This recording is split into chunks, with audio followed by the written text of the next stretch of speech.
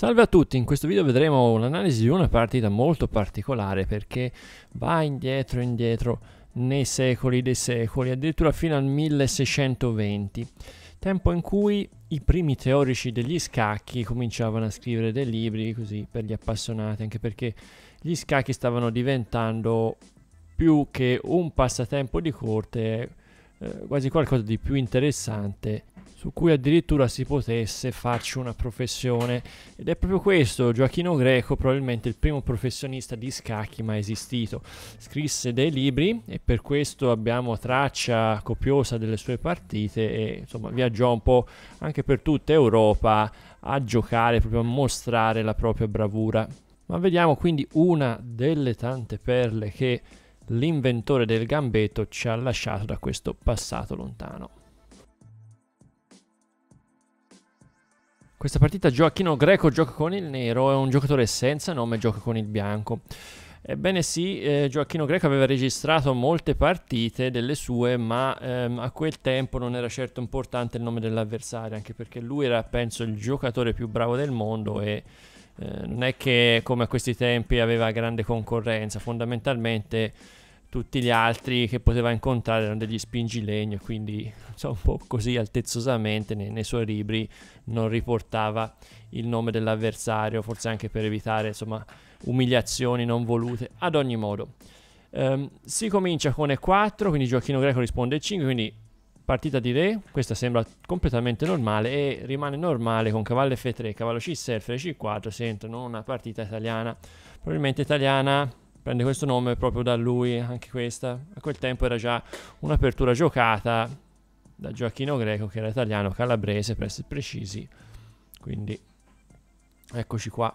Dopodiché alfiere C5, anche questa è abbastanza giocata, si va subito a mirare su F2 e il bianco arrocca mettendo al sicuro questo punto. Al che cavallo F6 e ora qui normalmente si gioca D3 Ora, sembra un pochino passiva questa perché chiude la diagonale all'alfiere, ma l'alfiere è già fuori, l'alfiere campo chiaro, e in più si apre la strada all'alfiere campo scuro, in qualche modo difendendo anche questo pedone attaccato dal cavallo.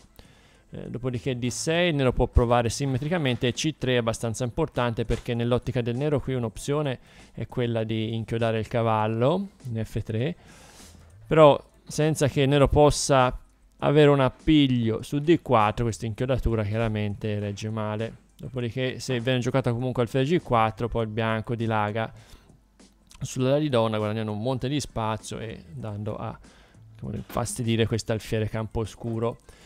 Ad ogni modo viene giocata viceversa torre 1 dall'avversario giochino greco, che sembra una mossa a prima vista più, più adeguata perché sviluppa la torre su una colonna che potrebbe aprirsi. Ora il problema è che se il nero è furbo, chiaramente questa colonna non la fa aprire, quindi in qualche modo vanifica primo, eh, questa prima idea del bianco, ma soprattutto potrebbe eh, addirittura giocare il cavallo G4 attaccando F3. Ora o si torna indietro con la torre, ma questo sappiamo fare avanti e indietro con pezzi non è proprio il massimo dal punto di vista dello sviluppo. Se la torre va in E2 è in una posizione che intralcia sia i pezzi dell'avversario che anche potrebbe subire attacchi non voluti. Per esempio cavallo di 4, qui forza fondamentalmente il cambio, dopodiché è per D e il nero si trova con diversi pezzi in attacco e questa torre che insomma del bianco non sa bene dove andare. Tra l'altro potrebbe subire una volta spostato il cavallo anche eventualmente un'inchiodatura o insomma manovre simili. Ad ogni modo Gioacchino Greco non gioca questa, non era tra le armi delle sue aperture, arrocca a sua volta, quindi mette per prima cosa il re al sicuro.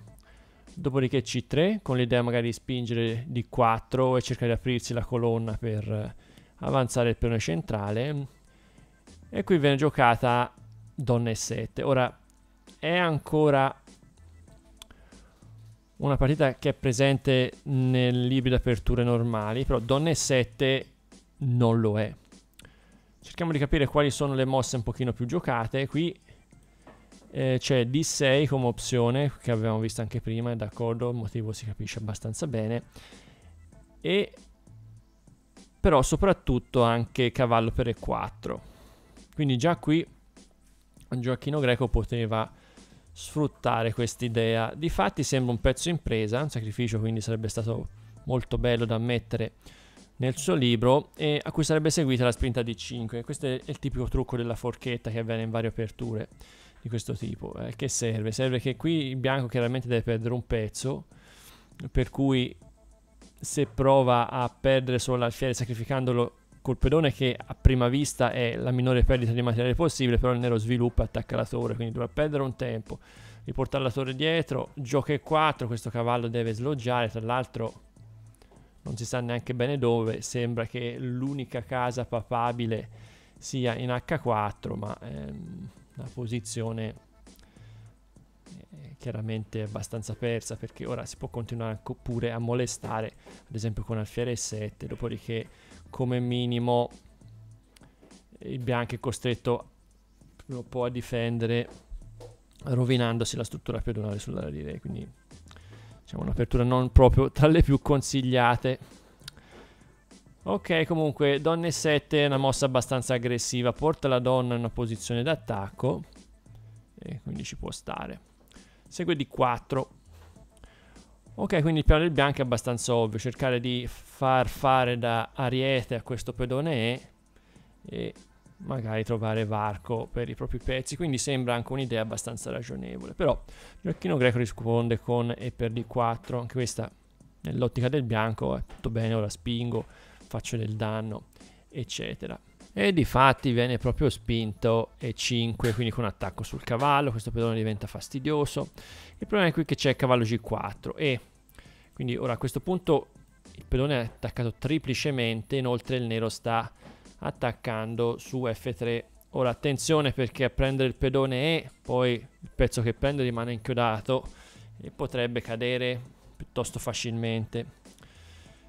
Però mossa al bianco, quindi prima giustamente C per D, quindi va a bloccare quest'idea.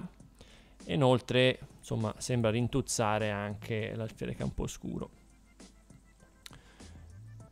Giochino greco gioca cavallo per D4, con magari di riaprire nuovamente questa diagonale e vabbè, qui ovviamente sembra che il bianco possa guadagnare un pezzo perché ha due attacchi su questo cavallo però con questa mossa si lascia scoperto e Gioachino Greco ne approfitta grandemente. La sua mossa è Donna H4, con minacce di entrate pesantissime sul re. E ora il povero cavallo si pente di essere andato via da F3 dove avrebbe difreso egregiamente il proprio re. E qui è un momento di bilanci perché eh, in pratica per il bianco è impossibile parare entrambe le minacce, ma qual è quella più pericolosa? Sembra quella in H2 perché la donna entra dal lato dove non ci sono altre difese. Eh, per cui però se si difende semplicemente con H3, chiaro che c'è donna per F2, re si sposta, dopodiché cade il cavallo. E il bianco non si può neanche rifare sul cavallo G4 perché la donna deve difendere la torre, se si prende di pedone c'è matto alla successiva. Alternativamente si potrebbe, forse come mossa migliore, cercare di difendere F, F2, al contempo difendere pure il cavallo con alfiere 3. Però il nero entra, re F1, donna H1 e chiaramente qua il bianco viene esposto a attacchi multipli. Tra l'altro, sì, il bianco ha un pezzo in più, ma ora ci sono varie minacce del nero che potrebbero colpire subito. Per esempio cavallo per E3 e questa non è che si possa evitare tanto facilmente. Uh, ad esempio, se il bianco prova a svilupparsi con cavallo C3, cioè cavallo per E3, re per E3, il pedone è inchiodato, non si può prendere di pedone, e ora di 5 con apertura delle linee per sviluppare gli ultimi pezzi. Qui c'è un attacco sull'alfiere, si può provare addirittura a minacciare la donna bianca, però donna H2 e ora questo pedone che era l'orgoglio del bianco è diventato il suo punto più debole. Quindi F4 per provare a difenderlo, torre D8 e insomma vabbè il nero sfonda in tutte le varianti Ad ogni modo c'è un'altra soluzione che è quella giocata in partita dal giocatore senza nome, cavallo F3, quindi il cavallo ci ripensa, il cavallo prodigo, torna a casa, difende H2 e vabbè, tanto il nero doveva comunque concedere F2, vediamo quello che succede però, vediamo un po' se lo potete vedere anche voi, donna per F2, quindi qui unica mossa re H1 e a questo punto Gioacchino Greco ha già vinto. Per i cultori del gioco qui c'è una chiusura ultra famosa. Vediamo un po' se riuscite a identificarla. A quel tempo però era fondamentalmente una novità. Nessuno aveva visto questo tipo di attacco. Un attacco che prevedesse di dare matto ad un re che è completamente soffocato dai propri pezzi. Pertanto Gioacchino Greco per l'appunto ha giocato donna G1. E qui non si può prendere di re purtroppo perché la donna è difesa, questo è fondamentale in questo tipo di matto che si chiama matto affogato, quindi il bianco dovrà prendere o di cavallo o di torre, in entrambi i casi il destino del re è segnato. Sia che prenda di cavallo sia che prenda di torre, vediamo per esempio cavallo per G1, lascia questa casa in difesa, ci si schianta il cavallo e dà il classico matto affogato. Ok, quindi a differenza di quello che ci si poteva aspettare, le partite di sì, esattamente quattro secoli fa, eh, stiamo parlando del 1620, eh, almeno per l'apertura non sembrano tanto diverse dalle attuali, almeno non questa. Eh, anche il bianco ha giocato abbastanza bene, è stato bastato un semplice errore, quella cavallo per D4, quell'ingordigia, eh, cercare di catturare il pezzo che è costata la difesa del Re Bianco e il successivo matto. Quindi, diciamo, partite del genere sicuramente non si vedranno giocare a livello GM oggi, ma nelle scacchiere di tutti i giorni, quelle che avete a casa, possono certo capitare. Quindi, sicuramente ne possiamo trarre grandi insegnamenti. Ok, quindi per questo video è tutto. Ci vediamo al prossimo. A presto e ciao ciao.